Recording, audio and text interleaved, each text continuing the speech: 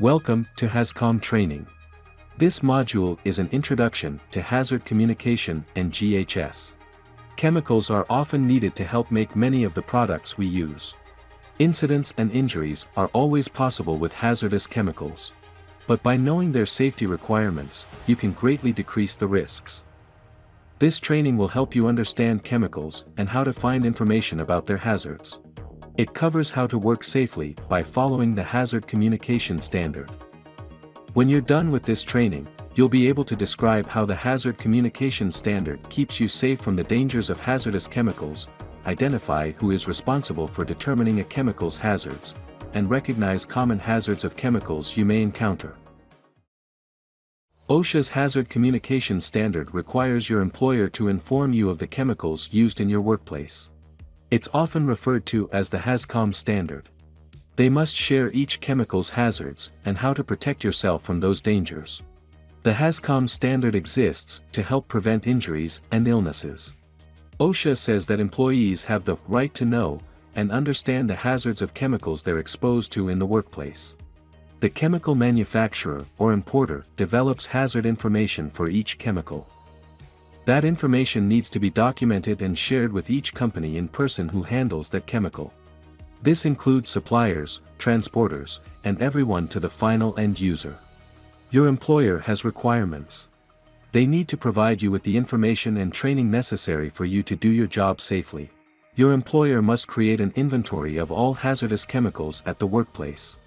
They need to ensure each chemical has a safety data sheet, or SDS, that's easily accessible to all workers who are exposed to a chemical. They also must ensure each chemical container is properly labeled with an approved label. Your employer is required to create and provide training for workers. And they'll need to develop and maintain a written HAZCOM program that details plans for communicating chemical hazards and risks. The OSHA HAZCOM standard is aligned with the globally harmonized system of classification and labeling of chemicals, otherwise known as GHS. GHS is a worldwide accepted system used for the classification and communication of hazards. OSHA adopted the GHS hazard definitions, container label elements, and SDS format. Welcome to HAZCOM training. This module is all about GHS safety data sheets. Chemicals are often needed to help make many of the products we use.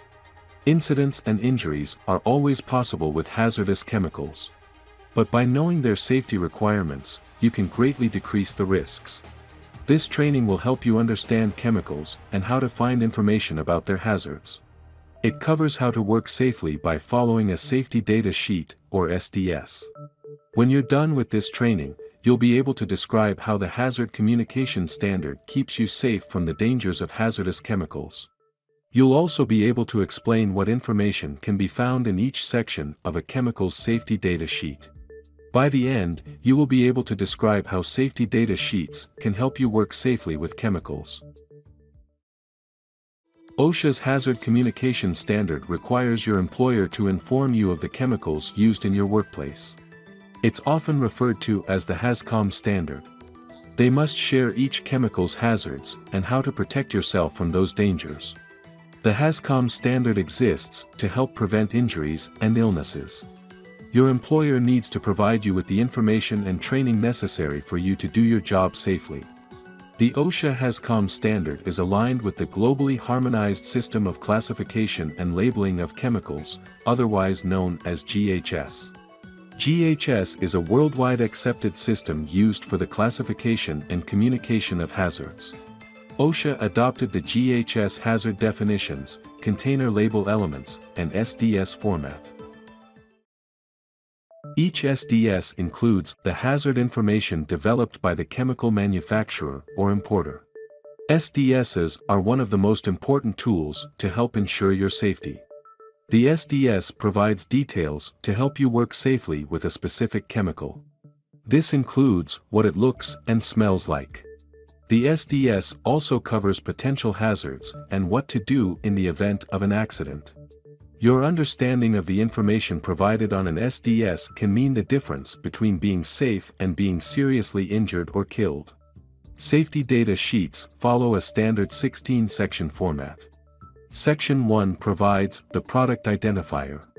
Section 1 helps you identify the product. It provides the product identifier, which must match the SDS. It includes the official name of the chemical, as well as any other names. It also shows the manufacturer, importer, or other responsible party information. That includes the name, address, phone number, and emergency contact information. You'll also find the recommended uses of the chemical and restrictions on its use here. Welcome to HAZCOM training. This module is all about GHS container labels. Chemicals are often needed to help make many of the products we use every day. Incidents and injuries are always possible with hazardous chemicals. But by knowing their safety requirements, you can greatly decrease the risks. This training will help you understand container labels and how to use them to stay safe when working with chemicals. When you're done with this training, you'll be able to describe how the Hazard Communication Standard keeps you safe from the dangers of hazardous chemicals, explain what information can be found on each chemical's container label, and describe how container labels can help you work safely with chemicals. OSHA's Hazard Communication Standard requires your employer to inform you of the chemicals used in your workplace. It's often referred to as the HAZCOM standard. They must share each chemical's hazards and how to protect yourself from those dangers. The HAZCOM standard exists to help prevent injuries and illnesses. Your employer needs to provide you with the information and training necessary to do your job safely. The OSHA HAZCOM standard is aligned with the globally harmonized system of classification and labeling of chemicals, otherwise known as GHS. GHS is a worldwide accepted system used for the classification and communication of hazards. OSHA adopted the GHS hazard definitions, container label elements, and safety data sheet, or SDS format. Your safety depends on knowing how to identify and use the information listed on the label of each hazardous chemical. This will make you more confident in your ability to safely handle hazardous chemicals. Container labels are a quick guide to important information about the hazardous chemical. Fortunately, the HAZCOM standard requires all labels to include the same type of information. They must also be legible, written in English, and prominently displayed. Each label on a shipped container of a hazardous chemical must have six specific elements.